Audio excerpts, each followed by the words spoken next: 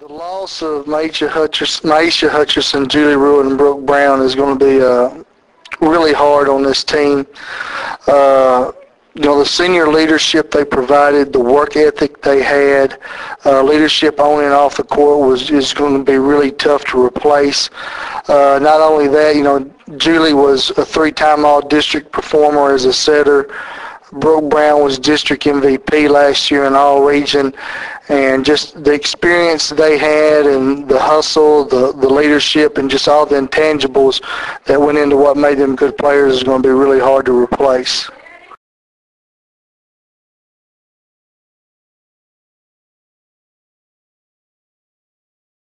Uh, the underclassmen are definitely going to have to step up uh, with the loss of Julie uh, setter. Ashley's going Ashley Williams will move in as a junior to be setter.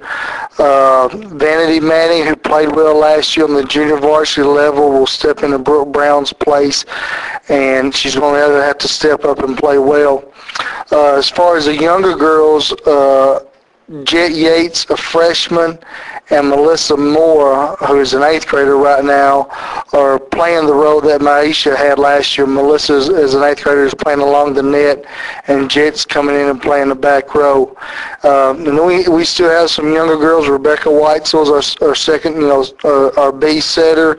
Uh, Mary Catherine Miller start, is playing well. So, you know, we're to have some younger girls who may have to step in at times this year and, and help carry us, you know, through a season that could be successful.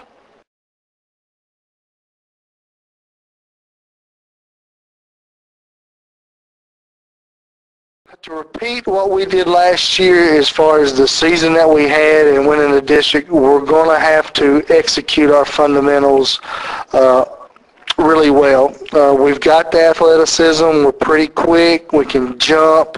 Uh, we move around the floor well. But, you know, even with being good athletes, we have to pass the ball well.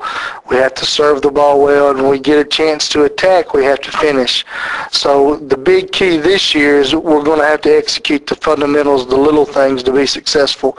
And, and most teams that are successful each year, uh, they do those things. They, they do the little things really well and that's what it's going to take for us.